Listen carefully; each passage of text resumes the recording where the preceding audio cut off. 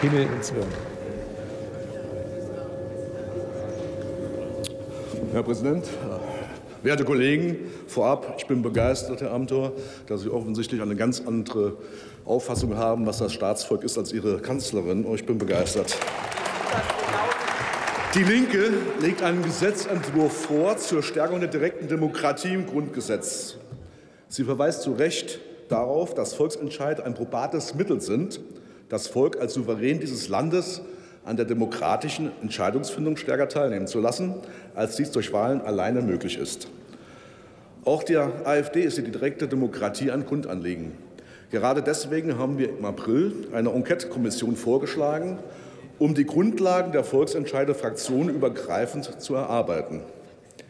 Hiermit ist aber auch die Gemeinsamkeit schon beendet.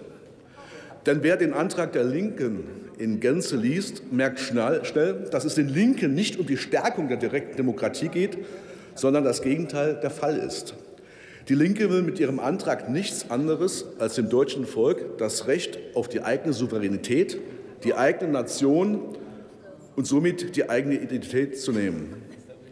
Es ist ja nicht Neues, dass das linke Spektrum schon seit langem ein Auge auf das Potenzial der Nichtdeutschen als Wähler geworfen hat, um ihre schwindenden Wählerreihen aufzufüllen und ihre antideutsche Politik durchzusetzen. Die, die Vorstöße zielten bislang auf das Wahlrecht auf kommunaler Ebene und eben auf Volksabstimmungen. So ist es nicht verwunderlich, wenn die Linke in ihrem Gesetzentwurf den Kreis der Wahlberechtigten für Volksentscheide auf alle Menschen ausdehnen möchte, die das 16. Lebensjahr vollendet haben und unabhängig von der deutschen Staatsbürgerschaft seit mindestens fünf Jahren in Deutschland leben. Aber nicht nur das. Mit dem Vorstoß der Linken zur Änderung des Artikel 38 Absatz 2 Grundgesetz soll dies auch für die Wahlen zum Deutschen Bundestag gelten.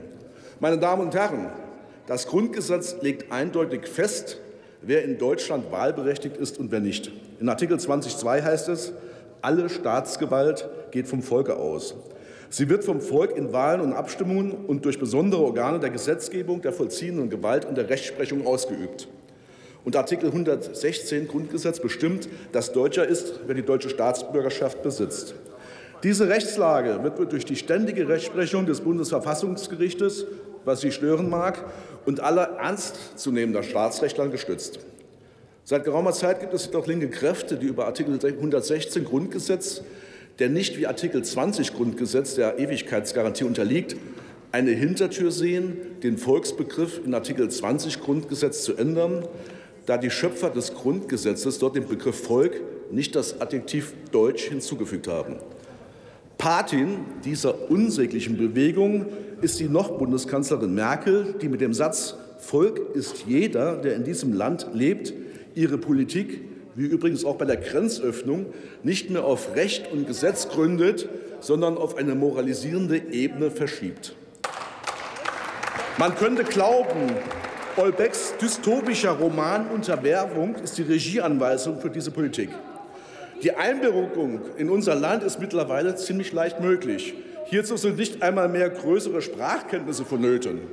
Somit kann im Prinzip jeder, auch aus Nicht-EU-Ländern, deutscher Staatsbürger werden, und das ist auch gut so.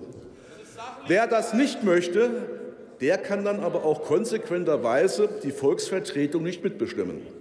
Denn wer nicht deutscher Staatsbürger werden möchte, der möchte auch sicher nicht deutsche Werte und deutsche Interessen vertreten und sich ganz sicher auch nicht in unsere kulturell abendländliche Gesellschaft integrieren.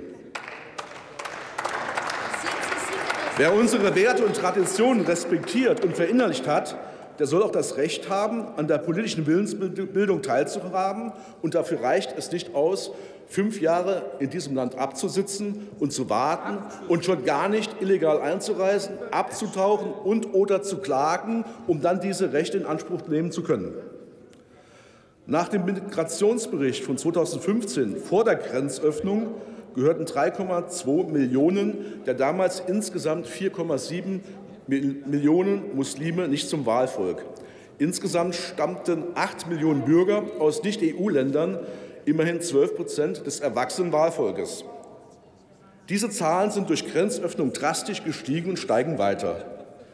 Wenn man sich beispielhaft vor Augen führt, dass 2016 nach einer Mnet-Umfrage 47 Prozent der in Deutschland lebenden Türken religiöse Gesetze für wichtiger als die weltlichen Regelungen unseres Landes halten und sich 62 Prozent der ersten Einwanderungsgeneration als stark religiös bezeichnen, aber schon 72 der zweiten, dann sieht man, wohin die Reise bei dem Wahlrecht für alle geht. Herr Kollege, kommen Sie zum Schluss, bitte.